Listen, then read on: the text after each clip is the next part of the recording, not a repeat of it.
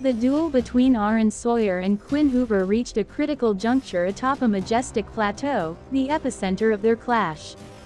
The sun shone brightly, casting an ethereal glow on the battlefield below.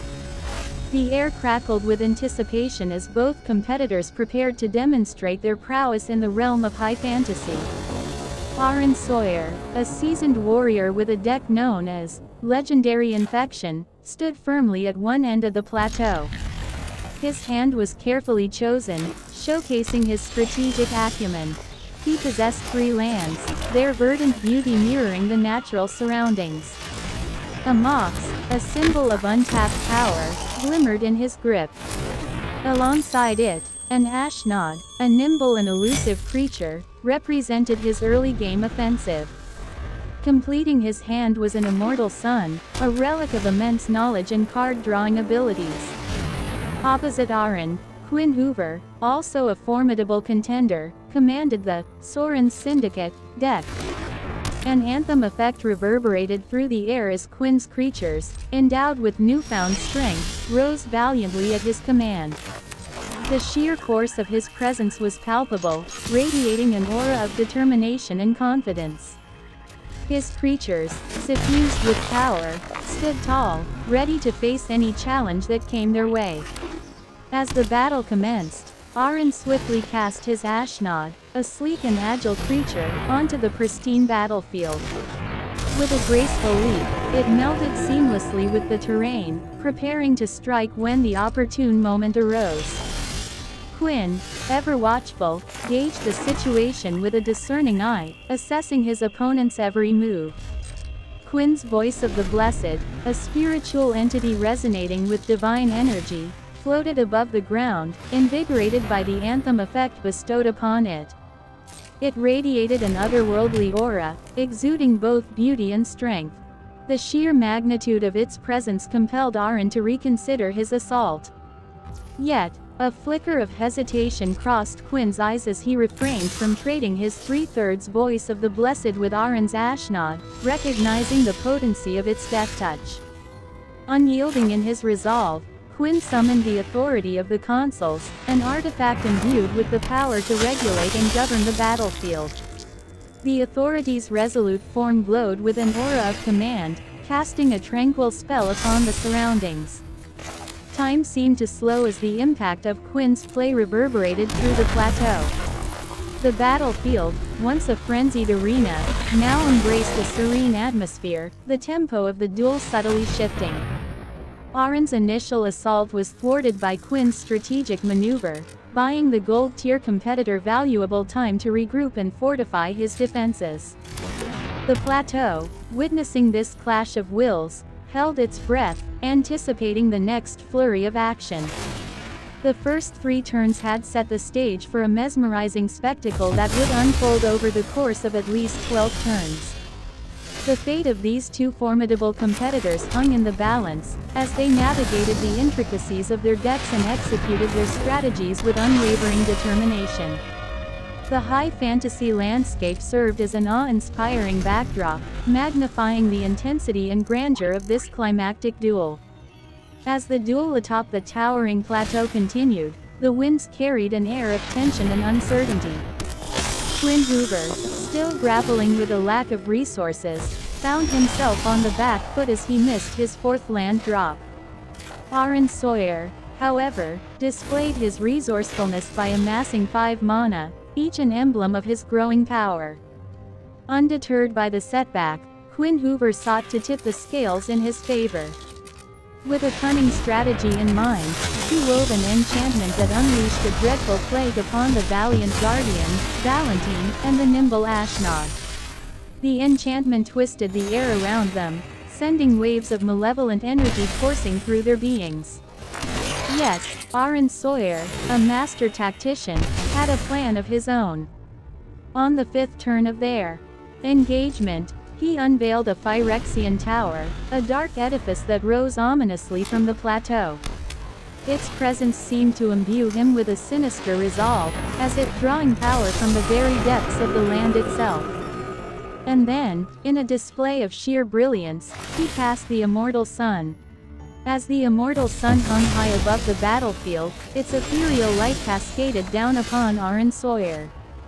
The ancient artifact radiated an aura of dominance, countering the plague that had beset Valentin and Ashnod.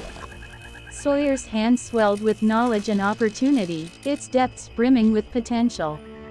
With each passing turn, the sinister plague unleashed by Quinn Hoover took its toll on the battlefield.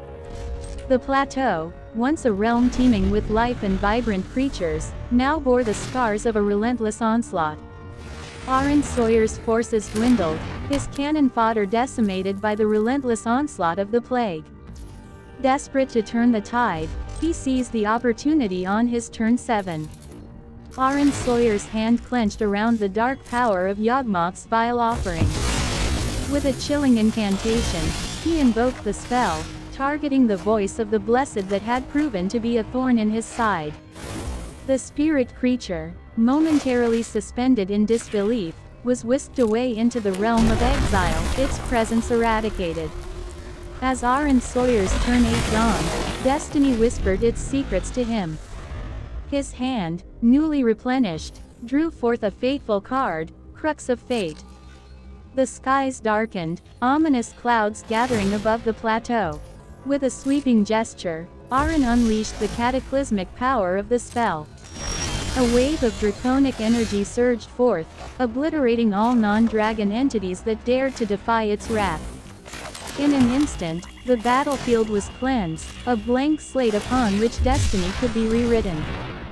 Quinn Hoover's creatures, once standing tall with their anthem-fueled might, were no more. Only remnants of Arren's fallen allies remained, casualties of Quinn's relentless plague. But amidst the aftermath, a foreboding presence loomed. A subtle tremor ran through the plateau, signaling the impending arrival of Skithiryx, the Blight Dragon. Arren's last-ditch hope had manifested, a harbinger of doom and decay, poised to wreak havoc upon the plateau and reshape the outcome of the duel. The stage was set for an enthralling continuation of their battle, as the forces of darkness and light clashed atop the high fantasy plateau. The winds whispered secrets, the sun cast its judgment, and the contenders, Arren Sawyer and Quinn Hoover, stood resolute, their destinies entwined in the heart of the battlefield. The once pristine and awe-inspiring plateau now bore the marks of a fierce confrontation between Arren Sawyer and Quinn Hoover. The winds howled, carrying with them the weight of the impending battle as the combatants readied themselves for the next stage of their clash. At the forefront of Arren's forces stood Yawgmoth, a figure shrouded in darkness and mystery. His presence exuded an air of malevolence, and his eyes glinted with an insidious intelligence. Across from him, Quinn sent his formidable commander, Sorin Markov, into the fray. A clash of titans seemed imminent as these two mighty beings squared off. With a powerful surge, Yawgmoth lunged at Sorin Markov, his strikes swift and deadly. The echoes of their clash reverberated through the plateau, shaking the very foundations of the battlefield. Blood was drawn, staining the ground with evidence of the duel's ferocity. Though weakened, Sorin managed to withstand Yawgmoth's assault, refusing to yield. The commander remained resolute, his presence an indomitable force on the battlefield. Meanwhile, Arren Sawyer's forces surged forth, an unstoppable tide that swept across the plateau. Creatures, summoned from the depths of his deck, materialized one by one, taking their places alongside Skithiryx, the Blight Dragon. The ominous dragon, a harbinger of doom, cast a foreboding shadow over the battlefield, radiating an aura of pestilence and decay. On the opposing side, Quinn Hoover worked diligently to rebuild his forces. Courtyards were reconstructed, serving as sanctuaries for his vampiric allies. Among them, an angel of unity, its wings resplendent and majestic, soared above the battlefield, emanating a sense of ethereal power. And there, a spirit creature, bloated with an immense surge of energy, stood on the precipice of invincibility, merely a counter or two away from reaching its untouchable state. Amidst the impasse, Quinn cast an exquisite blood, forging a potent bond between Arren's life loss and his own life gain. The very essence of the plateau seemed to pulse with this newfound connection, as if the terrain itself reacted to the intricacies of the duel. The scales of fate hung precariously, teetering on the edge of triumph or defeat. Quinn Hoover, ever vigilant, scoured the battlefield for a modular piece, a missing element that could tip the scales definitively in his favor. He sensed that victory was within his grasp, and Arren Sawyer's demise was just a jolt of damage away.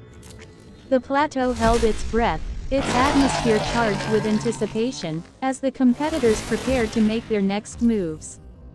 The battlefield, a stage set for this grand spectacle, bore the scars of the intense conflict that unfolded atop the plateau. A convergence of darkness and light, of strategic prowess and divine power, played out in a symphony of spells and creatures.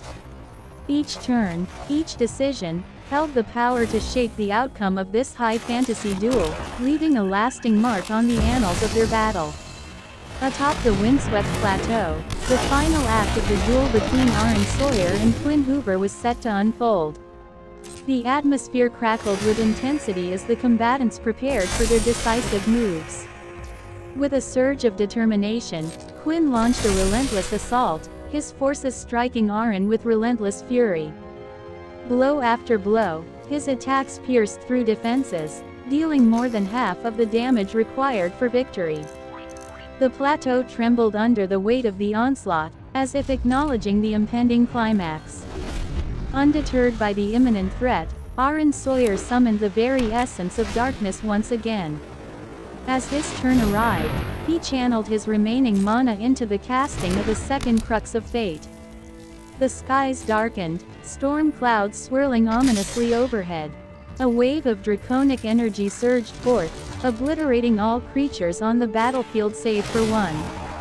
Skithiryx, the Blight Dragon, emerged from the shadows, its scales gleaming with a sickly sheen. Standing tall as the sole survivor, it loomed high above the plateau, its presence commanding and ominous. The immortal sun cast its radiant silhouette, bestowing an ethereal glow upon the battle-worn terrain. But Arren Sawyer's forces were not limited to the Blight Dragon alone. From the depths of dreams, Lurrus of the Dream Den appeared, beckoning Valentin and Ashnod back into the fray. These resolute allies returned, their determination unwavering even in the face of overwhelming odds. Quinn Hoover, a shrewd strategist, recognized the futility of his situation.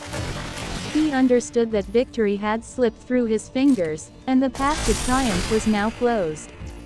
With a sense of grace, he bowed out of the duel, acknowledging the undeniable prowess of his opponent. The battlefield, witness to the grand clash of sorcery and creatures, seemed to hold its breath as the outcome became clear. The echoes of the fierce battle reverberated through the plateau, leaving an indelible mark on its hallowed ground. The dueling forces had tested their mettle, their skills honed in the crucible of combat. As the sun dipped below the horizon, casting long shadows upon the plateau, a solemn silence settled upon the scene. Arren Sawyer emerged victorious, standing tall amidst the remnants of the battlefield. The high fantasy duel had reached its conclusion, leaving a tale of valor and strategy etched into the annals of legend.